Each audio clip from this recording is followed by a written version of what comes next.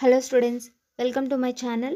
Today I am going to discuss about memory allocation in C programs.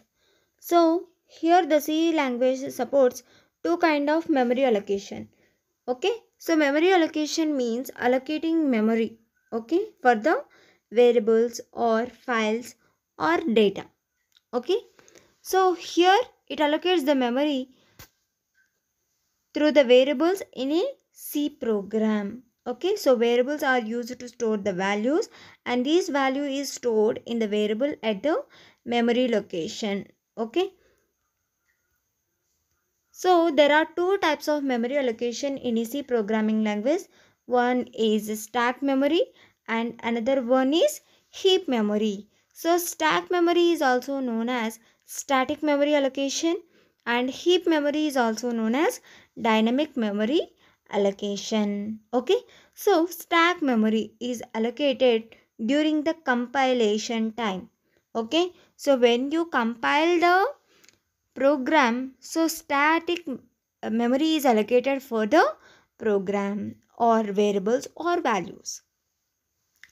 So when the memory is allocated at the runtime is known as dynamic memory allocation. So at compile time is known as static memory allocation.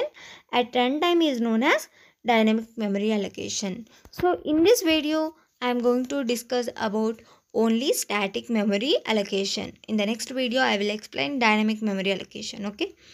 So in static memory allocation the memory for the data is allocated when the program starts. Okay. When you start the compile compilation the memory is allocated for the data okay? The size is fixed when program is created okay? So when the program is created for example int a okay? So for integer variable it allocates 4 bytes of memory okay? So this memory is fixed okay the size is fixed when the program is created. It applies to global variables, file scope variables and variables qualified with static defined inside function.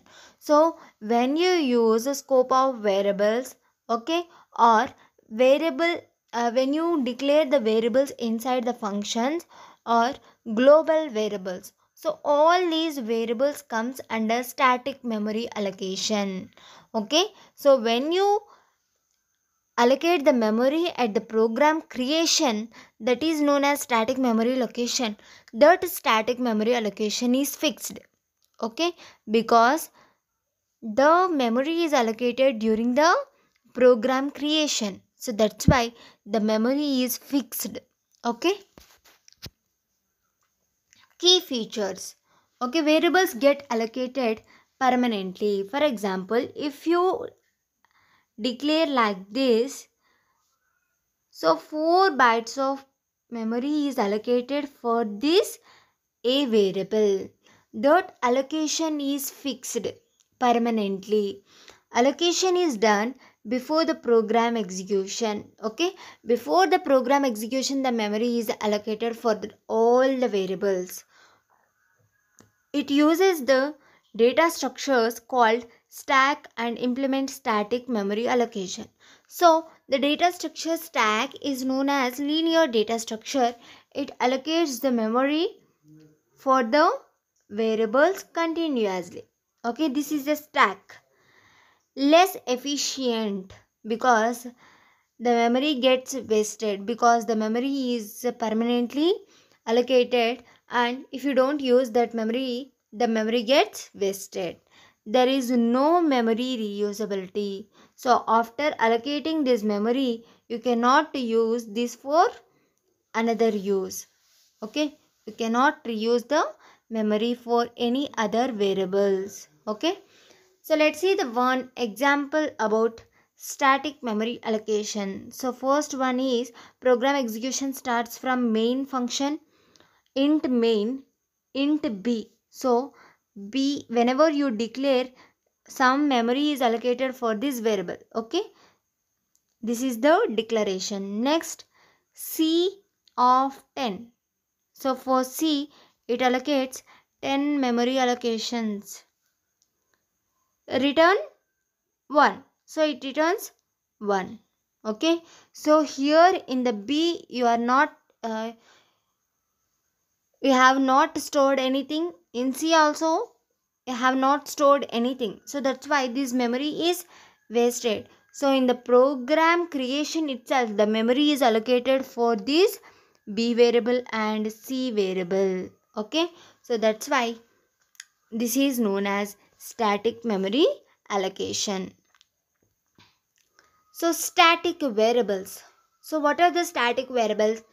As the name suggests the value of static variable persists until the end of the program a variable is declared as static using static keyword so this is static int x static float y. So these variables are persist until the end of the program. So a static variable may be either an integral type or external type internal type or external type like uh, local variables and global variables. So static variables also either in local or global. Okay?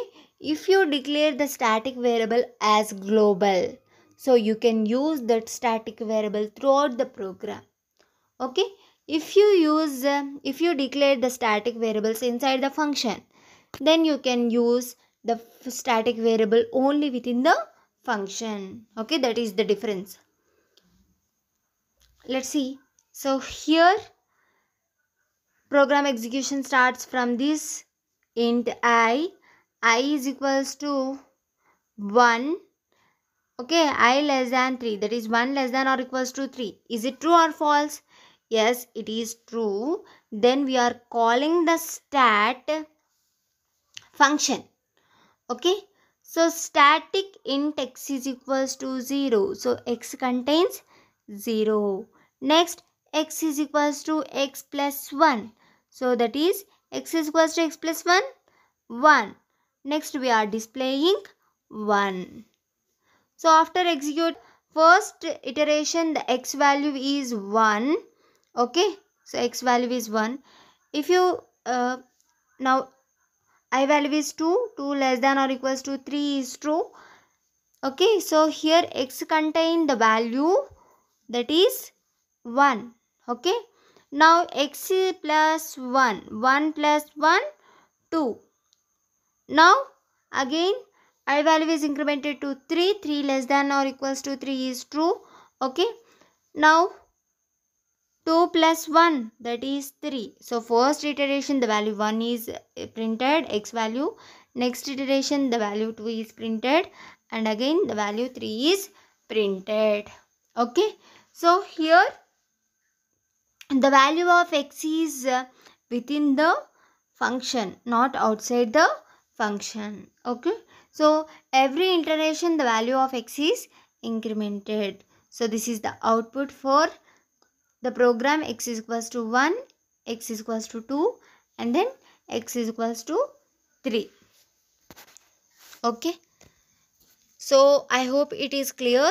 If you have any doubts regarding to this video please comment me in the comment section. For more videos please subscribe and share my channel. Thank you